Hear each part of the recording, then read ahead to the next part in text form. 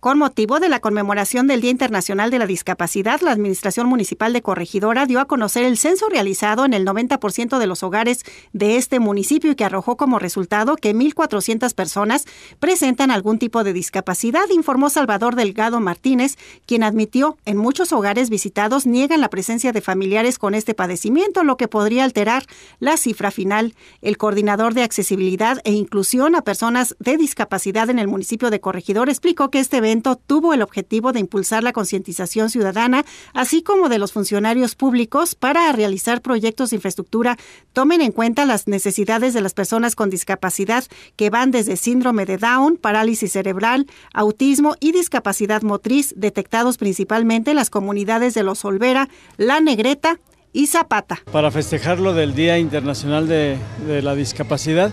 que es la primera vez en Corregidora que hacemos este evento. Eh,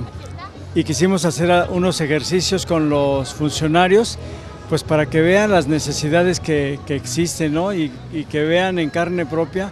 cómo, cómo ellos eh, sufren para, para este, subir las, las banquetas, todo. y con la finalidad también de que los funcionarios, nosotros como funcionarios, pensemos más en ellos, porque sí, efectivamente nos falta mucho, mucho, mucho en corregidora no nada más es la foto, no nada más es la pequeña beca, es algo más, ¿no? Y para que planeemos más